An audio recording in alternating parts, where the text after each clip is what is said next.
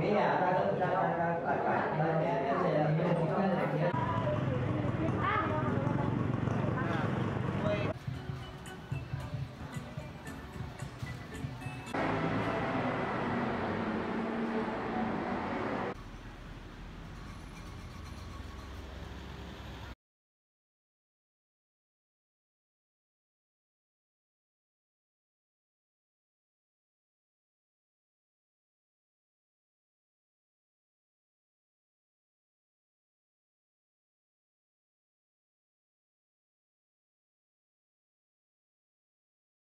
อยากจะอยู่ตรงนี้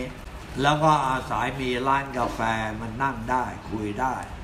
ถ้าไปอยู่ที่อื่นอาจจะเงียบเหงาอ่า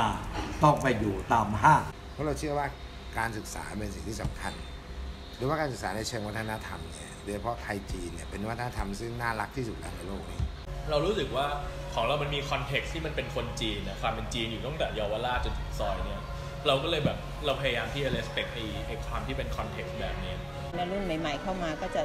เหมือนกับแบบเป็นการเป็นการเหมือนการย้อนยุคไปแล้วอย่างเงี้ยค่ะเออแล้วก็พยายามจะสมัครใหม่ๆรุ่นใหม่ๆขึ้นมาให้เขารักรักในจุดนี้เรียกว่าให้ดึงทางเรียกว่าเรียกว่าคนต่อคนต่อไป ไม่ให้หยุดไม่ให้สิ้น